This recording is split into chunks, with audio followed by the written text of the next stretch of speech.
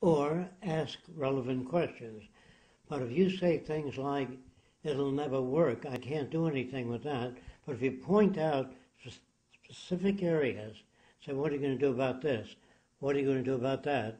Bring it up specifically. All right, so here goes on the Venus Project. I've lived through the last depression. There were 15 million people sleeping in every empty lot across America.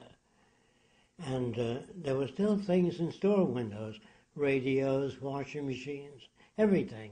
They didn't have the money. The banks failed.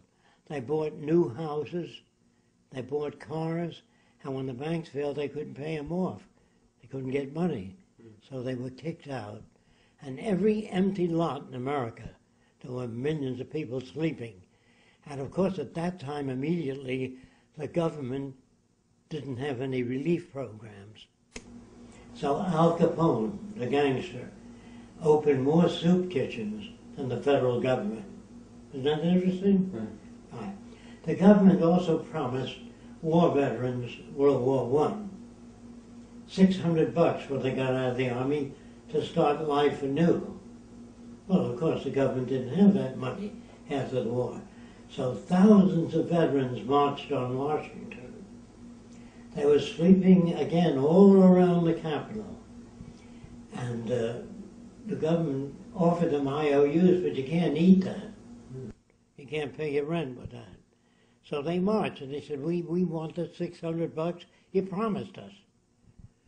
And so the Senate and the House of Representatives didn't like all these veterans sleeping around Washington. So they said to Doug MacArthur, get them out of there. Looks bad. Had tear gas thrown at the veterans. See, these are things that are not in your school books. Your school books are BS, and they're made to get people in line.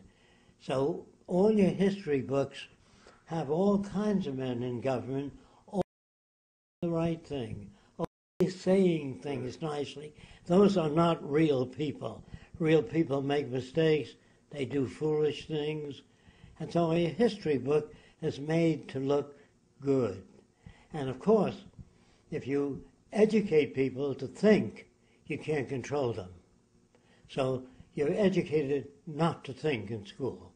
You're programmed to uphold existing institutions. What's the greatest country in the world? The good old USA. The real thing is great in what area? Where did we get this land? We took it by force and violence from people that were 50 million of them, and we drove them into the desert regions. Then we took California, New Mexico by force. After we stole all the land we needed, we put up the sign, Thou shalt not steal. Of course, England did the same thing. They say the sun never sets on England. Where do you think they got that land?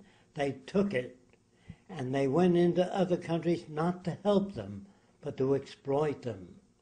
And this is the story of all countries. They are all corrupt.